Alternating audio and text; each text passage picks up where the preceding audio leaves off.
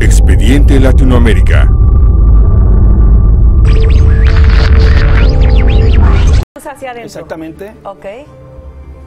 Si ustedes ven a la parte eh, derecha de la pantalla, Ahí va. Ahí va. ahí está entrando, ahí está entrando un- una luz, ¿vale? Ok. Muchos dicen que es, son ovni. Yo creo que no son ovni. Me, me- me quedan mirando ustedes, ¿no? Yo digo que son sonda. ¿Qué es eso? Una sonda, como los tic-tac que, que estuvieron eh, persiguiendo los aviones F-Raptor 22, ahora en Canadá, Estados Unidos. Son sondas, no son tripuladas. Ok. Ok. Aparte de eso, eh, vamos a ir con la segunda con eh, imagen, video. señor productor, por favor. Esta es otra, pero este es de otro, de otro, de otros tiempos, de, de hace como unos dos años atrás. Ok. En Y el mira, Popocatépetl. Y date cuenta por dónde entran. ¿Ves que hay un patrón? Sí, por el entran por el lado derecho. Derecho. Y también es sonda, no es tripulado. Claro, esos son sonda. Y ahora vamos con el tercero. Esto es antiguo, esto es de la época de los Igual. 90. Los 90, cuando se, también había mucho este tipo de apariciones. Exacto. ¿Qué patrón tenemos? El mismo. Derecha. Que entran por donde mismo. Por Eso, lado- eso lo descubrí la semana pasada yo. ¿Y eso qué Ajá. puede decirnos, Hugo? Que hay una brecha. Hay una brecha. Una brecha. Hay como una carretera. Ok. Pero ¿quién Ya. los manda? ¿De dónde vienen? Pueden venir de otra dimensión, ¿ya? Pueden venir de otra dimensión o pueden venir de otro...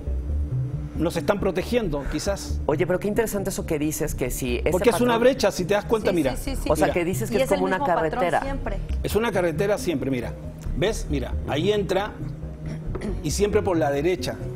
¿Qué te parece si vamos a ver los tres videos juntos para entenderlo mejor? Perfecto, ¿Sí? perfecto, claro. Que también nos escriba ahí la Adelante, gente. claro. Mira, ahí está. Ahí están. Diferentes años, ¿Ves? Pero es lo mismo, Pero el es lo mismo, mismo. comportamiento. Claro, exactamente. Hugo, para quienes no estamos relacionados, eh, ¿nos puedes explicar nuevamente lo que es una sonda? Que, o sea, que no está tripulado, o sea, es nada más como es como un dron. Ese ah, es, un, es un dron. Es un dron no tripulado y generalmente eh, son del tamaño de como de unos eh, 10 metros, 9 a 10 metros. Ah.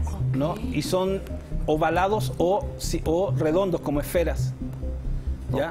Eh, te digo este tema de, los ovnis porque muchos eh, colegas han dicho que son ovnis. lo último que, que salió en las redes sociales es que son es un- que es un portal que hay. Ok.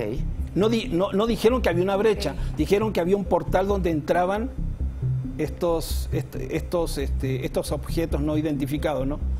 Eh, pero yo, en lo personal, creo que son, eh, son sondas que entran para mitigar La actividad. la actividad de estos colosos. Pero no solamente acá en, en. Puebla, sino que no solamente acá en México, en Puebla, sino que en todas partes del mundo. Creo que incluso esto es muy alentador, ¿no? O Claro. sea, ¿Esto se ha visto en otros volcanes? Sí, ¿El claro. mismo comportamiento? Exactamente, exactamente. Y también por la próxima vez te vamos a traer de otros, de, otro- de otros volcanes, te vamos a traer material de otros volcanes, pero yo creo que es eso lo que está pasando, en lo personal. Yo puedo estar e- equivocado, pero según lo que yo analicé, porque cada vez que ellos, cada vez que hay actividad, Sí. aparecen estos. Estas sondas entran. Lo que pasó ahora, debería de haber hecho erupción el volcán, en realidad.